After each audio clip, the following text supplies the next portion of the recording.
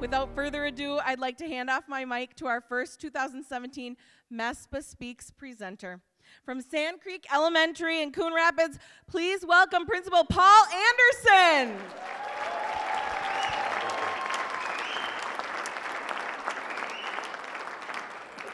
Good morning, everybody. Have you ever wondered what we would do if we weren't elementary principals? On a recent commute home, a video billboard caught my attention when it uh, flashed this question. And because it was one of my more eventful days at Sand Creek, uh, and because I'm not Rule of 90, and I'm looking at many years left in this profession, I think I responded with a yes and a lot of enthusiasm. And I spent the rest of my drive home considering my options. But are there any options? I mean, would or could our skill set ever transfer outside of education? And again, I answer yes. All right, if you came here for rich, deep, meaningful content, stay tuned because those seven that are speaking next are going to provide that to you. Me, I just want to take a moment and share with you four jobs that I think our skill sets transfer very nicely to. And I know that you have similar stories from your experience, probably even better ones than mine. Uh, but what I want to do today is validate the enormous amount of skills that you show on a daily basis. So let's get started. I think that we all could be very good authors. I know there, is, there are some authors in this audience. But I also think we should, be, we should be regular guests on the talk show circuit, all right? Every week I find myself saying, I really should be writing this stuff down. It may, it would make such a great book. And if I'm honest, Jimmy Fallon and Ellen, they're missing out if they have not tapped into the elementary school principal for content. And Ellen, if you're watching, I am available. All right? Love to be on that show.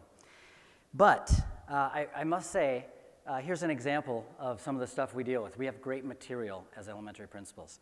Just the other day, a uh, first grader was walking into the school, a little girl, and I had my coffee cup in hand and welcoming all the students.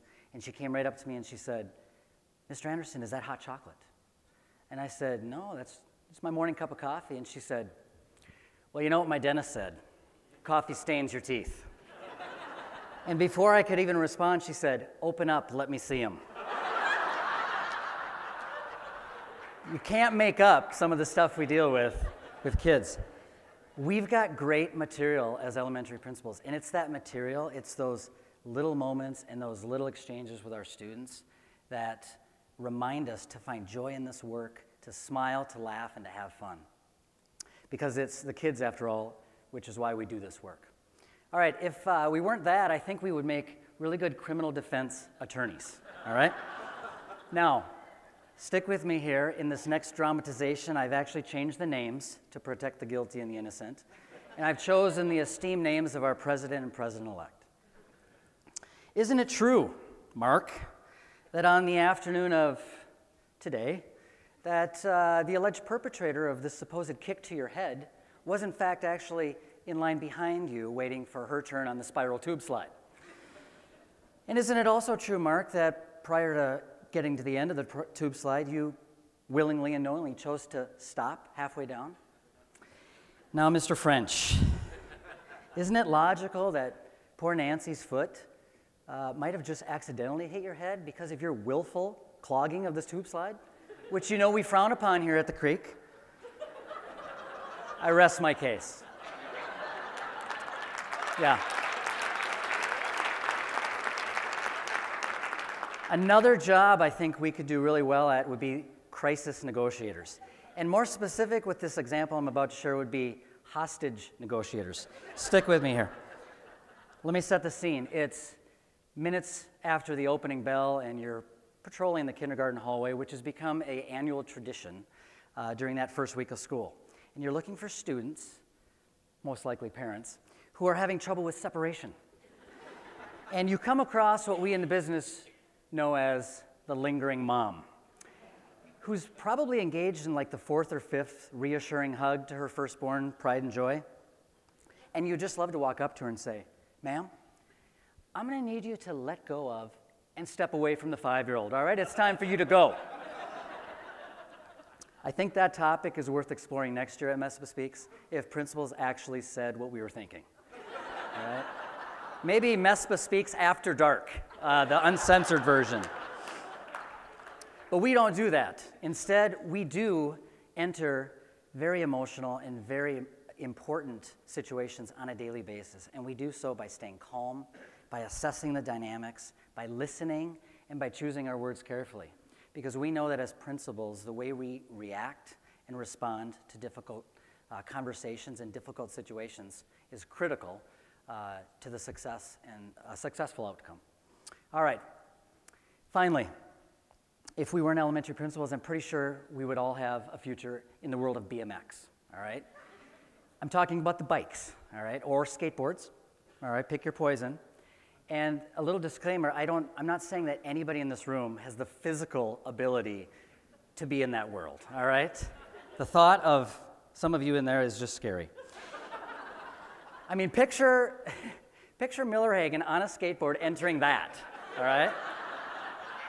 That has emergency room written all over it. But, and, and ticket sales. Now, you threw me off, Roger, and you also stole some material that I'll get to later, all right? But this is a skills park, all right? And it's complete with ups and downs and ins and outs and obstacles that we have, or that the rider has to uh, try to overcome. And before you enter that, you have to have a plan and you have to have a sequence and you have to know which maneuvers to try, when and where. But once you drop in, all bets are off. And you have to be flexible and adaptive, and uh, you have to do that during the entire run. Like if on your first jump, you don't think you're going to get enough air for that signature 1080 backside toe flip. I don't even think that's a term. you might just have to land the 720 with a front side kick grab. Is that a term? I don't know. My point is, is in this environment, you have to think on your feet and you have to react quickly and you have to be constantly adapting. Minnesota principals, may I present that we do this every single day. We drop into a day in the life of our school and we navigate the ins and the outs and the ups and the downs, but our obstacles weren't there when we started the day.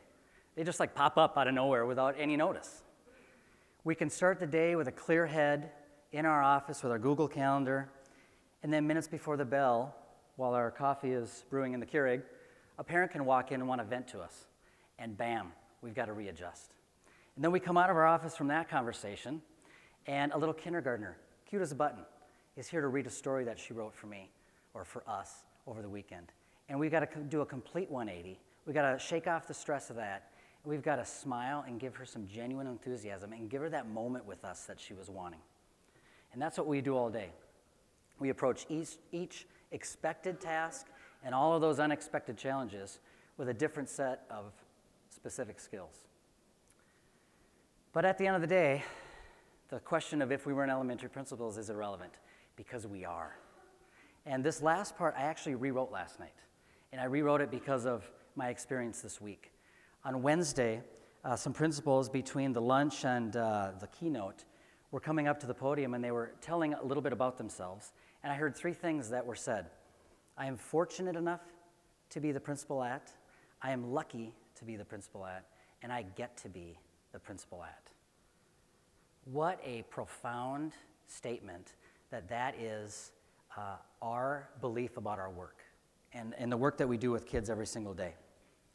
Uh, Mark mentioned that at the board meeting on Wednesday, everybody had to go around and share a word about how we were feeling, and my word was grateful. And it's because coming to Winter Institute and connecting with people who know what it's like to be a principal and what it sounds like and looks like and feels like, that's a gift. And I always go away with a renewed sense of energy and passion for my work when I go back to Sand Creek, which is the school that I get to be leader of. And despite the challenges and all of the uh, responsibilities and unpredictability of this job, like Roger's always told us, it is good to be a Minnesota principal. And finally, what other career would we want? What other job would we want? Like Principal Caffelli said, this is our mission.